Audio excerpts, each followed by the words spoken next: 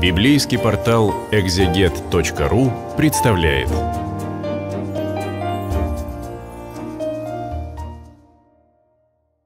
Здравствуйте, друзья! На библейском портале «Экзегет» заканчиваем читать книгу пророка Наума. На очереди у нас третья глава этой книги.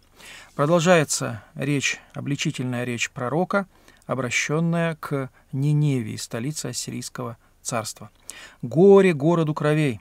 Весь он полон обмана и убийства, не прекращается в нем грабительство. Слышны хлопанье бича и стук крутящихся колес, ржание коня и грохот скачущей колесницы. Несется конница, сверкает меч и блестят копья, убитых множество и груды трупов, нет конца трупам, спотыкаются о трупы их. У ассирийцев был э, такой военный обычай, когда они захватывали непокорный город, они связывали живых людей веревками и на центральной городской площади у ворот э, сооружали такую груду из э, живых людей, которые умирали долгой, медленной, мучительной смертью.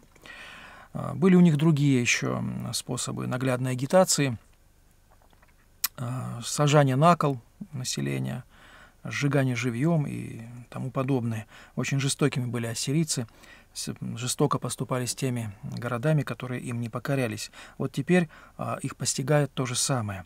Возмездие руками а, вавилонян по воле Божьей. Несется вавилонская колесница по улицам захваченной ассирийской столицы. За что же это? Пророк поясняет, 4 стих. «Это за многие блудодеяния развратницы приятной наружности, искусной в чародеянии, которая блудодеяниями своими продает народы и чародеяниями своими племена». Возможно, что здесь под блудодеяниями и чародей, чародействами 4 а, стиха 3 главы а, следует понимать э, идолопоклонство и ту а, внутреннюю политику идолопоклонников ассирийских царей, которую они насаждали. Если сегодня великие державы, а, они распространяют в отношении своих вассалов, своим вассалам а, продукцию Голливуда и Макдональдса, то а, раньше предметом импорта вот для этих малых вассальных государств были идолы. Идолы сюзерена, идолы господствующего, доминирующего государства. То есть в ту эпоху это идолы Ассирии и Вавилона – Следует заметить в этой связи, что хотя книга пророка Наума, ее основная тема, единственная, можно сказать, тема — это обличение Ассирии, это весть о наказании и о божественной мести, а, весть а, о том, что Господь уничтожит ассирийское царство, но а, возможно, что для проповеди Наума был и свой внутренний слушатель. Пророк ведь пророчествовал в Иерусалиме, в Иудее, и его слушателями ближайшими первыми были иудеи — его сограждане, его соплеменники, иерусалимляне. И вот э, возможно, что здесь, в этой проповеди, скрыто, э, имплицитно содержится критика в отношении и своего иудейского царя. Долгое царствование Менаше, Манасии, нечестивого, мерзкого царя, э, оно, да, это царствование было долгим. И э, в частности, говорит автор четвертой книги царств и второй книги Паралипоменон, этот нечестивый царь Менаше, Менасия, Манасия, он осквернил храм Господень. Он поставил идолов во дворе храма. И совершаться начало, началось там, э, при нем, совершение служб, отправляемых другим богам. То есть иноземные культы, культы ассирийские, насаждались при, э, при иудейском царе Манасии в иудейском царстве. Народ заставляли заниматься идолопоклонством. Пророчества, пророки были гонимы, уничтожаемы, преследуемы. А пророчество было, а, можно сказать, подпольным в то время. В это неблагоприятное время долгого царствования, многодесятилетнего царствования одного из последних иудейских царей, царя Менаше, царя Манасии. Поэтому, по всей видимости, в этой книге звучит критика и в отношении царя иудейского. Но эта критика закамуфлирована а, в э, проповеди пророка в его обличениях в адрес Ассирии. Критикуя ассирийцев, пророк имплицитно, скрытно критикует и политику собственного царя, царя Менаше, политику совершенно проассирийскую и идолопоклонническую – Далее продолжается прямая речь Господа против э, Ниневии, столицы Ассирийского царства. «Вот я на тебя, — говорит Господь Саваоф, — и подыму на лицо твое а, края одежды твоей, и покажу народам наготу твою и царством срамоту твою. И забросаю тебя мерзостями, сделаю тебя презренную и выставлю тебя на позор». Продолжает развиваться метафора вот этой а, блудной женщины, блудницы – Ассирия, Ниневия предстают в образе этой мерзкой, нечестивой блудницы, женщины, которая еще к тому же занимается и чародействами. И вот Господь сделает так, что края одежды будут подняты ей на голову. А, мне вспоминается в этой связи монгольские обычаи. Какое-то время мне в молодости довелось жить в Монголии. Вот там, а, в степи, где негде укрыться, а, женщины часто а, вот именно так поступают они, а, закрывают свое лицо полами своей одежды, дескать, я никого не вижу, и меня никто не видит, и все нормально, и отправляют свои потребности. Только вот э, здесь это будет позором и стыдом для этой э, женщины, в образе которой предстает э, Ассирия. Ужасные эти слова – и ужасная в них содержится весть, и все это, весь этот позор постигнет главного врага иудеев, Ассирийское царство. Они будут опозорены, обесчещены вражеской армией, армией вавилонян, и все это бесчестие их уподобляется тому бесчестию, которому подвергается блудница. И сказано, забросаю тебя, Господь забросает Ассирию мерзостями, и она будет презренной и выставленной на позорище. И будет то, что всякий, увидев тебя, то есть увидев Ассирию, увидев Ниневию, побежит от тебя и скажет, «Разорена Ниневия, кто пожалеет о ней? Где найду я утешителей для тебя?» Оплакивают Ниневию. Она разорена, и никто о ней не жалеет. Можно сказать, что здесь нет утешителей для тебя, некому ее и оплакать-то. Разве ты лучше Ноаммона, находящегося между реками, окруженного водой, у которого вал был море, и море служило стеной его? Эфиопия и Египет с бесчисленным множеством других служили ему подкреплением, копты и ливийцы приходили на помощь тебе. Как величайшая держава того времени, Ниневия подчиняла себе все эти окрестные города и государства, в том числе даже столь далекие, как Эфиопия, Египет, ливийцы, они находились, если не в прямой зависимости от Ниневии, то а, в каких-то дружественных договорах а, с ней.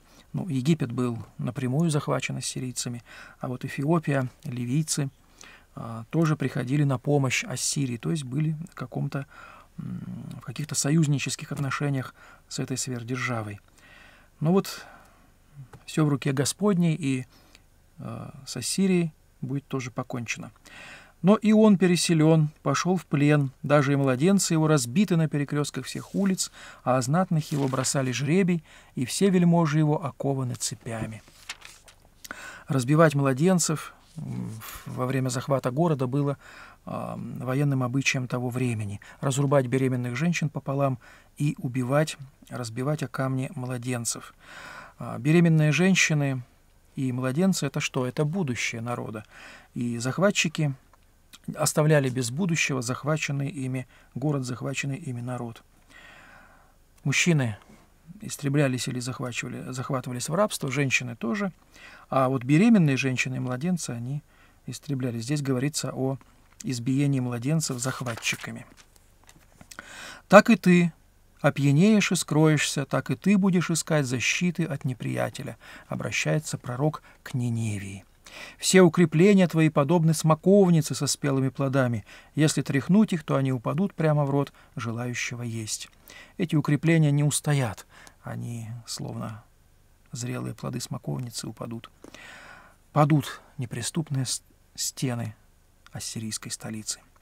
Вот и народ твой, как женщины у тебя — Врагам твоим настежь отворятся врата земли твоей, а огонь пожрет запоры твои.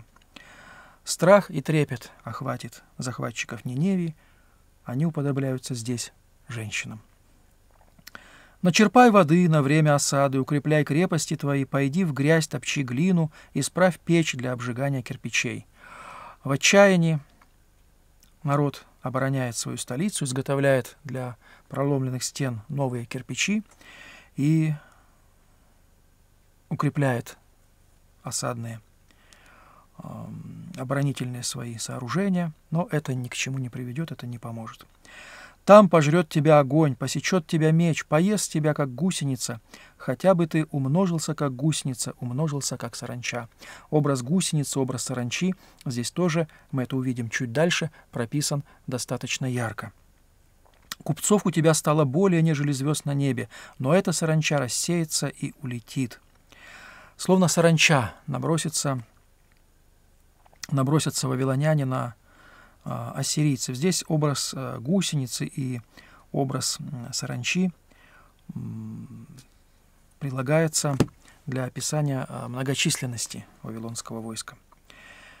Но и не только, но и для описания образ этот здесь двусмыслен образ, он здесь амбивалентен. Он прилагается и к Ассирии, и к Вавилону.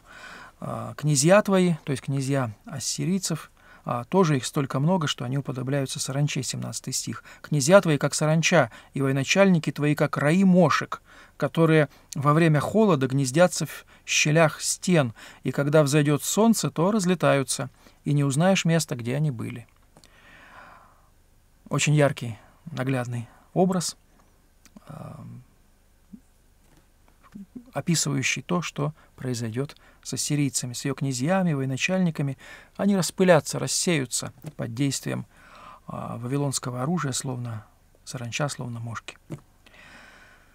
Заключительные стихи книги пророка Наума. «Спят пастыри твои, царь сирийский, покоятся вельможи твои, народ твой рассеялся по горам, и некому собрать их».